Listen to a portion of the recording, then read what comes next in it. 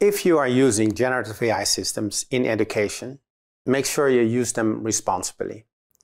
For me personally, here are three rules of thumb to keep in mind when using generative AI systems. First of all, be careful.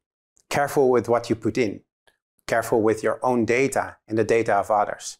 Do not enter personal information, personal photographs, company secrets, or any other potentially sensitive data as prompts into these systems. You should assume that everything you enter ends up on a server in California and is out of your control. Also, be careful about which generative AI systems you use. You'd better use systems based on data that is collected and processed in line with your own ethical standards. And be careful with the output of these systems. Don't believe everything that these systems produce. Don't treat these systems as a trusted friend, and certainly don't blindly take their advice on anything of importance. Second, be transparent. Don't use generative AI to fool others, be it lecturers, students, or the general public.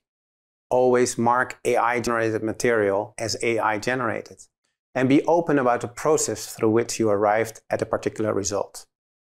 Note down the prompts you use and consider putting them in the caption of your figures or the appendix of a paper.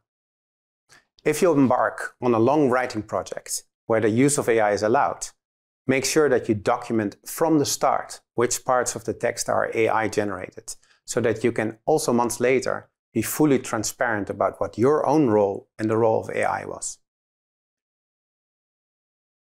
And third, take responsibility. Generative AI may provide great tools, but it is certainly not error-free. And importantly, an AI is not a person that can be held accountable. Every text, image, sound, or other product that you create with AI, you have to be ready to take responsibility for. And that means making sure factual statements are correct, that sources are properly credited, that unlawful and unethical output is deleted, and that discriminatory content is avoided.